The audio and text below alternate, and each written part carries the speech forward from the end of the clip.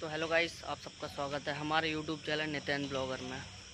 आज आपका भाई बनाएगा रोटी और दिखाएगा, देखो कितनी गर्मी में कैसे रोटी सीखती हैं यार, बहुत मुश्किल होती है यार रोटी सेकना। पसीने से पूरे भीग जाते हैं भाई, बहुत मेहनत लगती है रोटियाँ बनाने में। आप खाते तो बड़े शौक से हो, लेकिन जो बनाता है वही जानता है कितनी मेहनत लगती है। जितना आसान लगता है ना मेरे भाई, ये रोटी बनाना, एक बार बना के देखो। तब पता चलेगा कितना कठिन होता है रोटी बनाना। खाना तो बहुत आसान होता है। एक बार करके तो देखो। अपनी माँ तो हर नखरे उठाने को तैयार रहती है। कभी तुमने उठाए अपनी अपनी माँ के लिए नखरे? अरे तुम कहाँ से उठाओगे यार? तुम तो अपने आप को नहीं उठा पाते। तुम अपने माँ की नखरे क्या उठाओगे? घर पे तो हुक्म जमाते हो कि माँ रोटी कच्ची है, माँ ऐसी है, माँ वैसी है।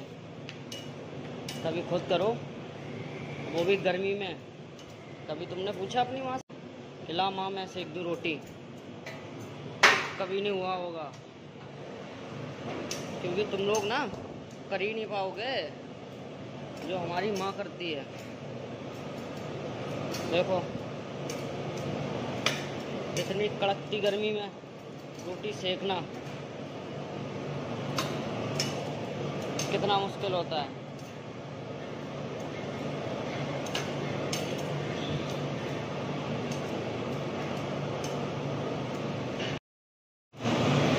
पसीने अंदर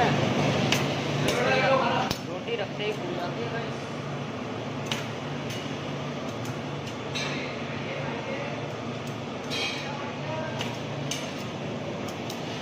मेहनत तो लगती ही है।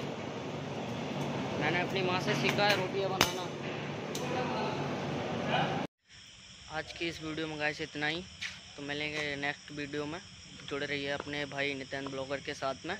बहुत बहुत धन्यवाद आप आप सबका प्यार देने के लिए। बहुत बहुत शुक्रिया गाइस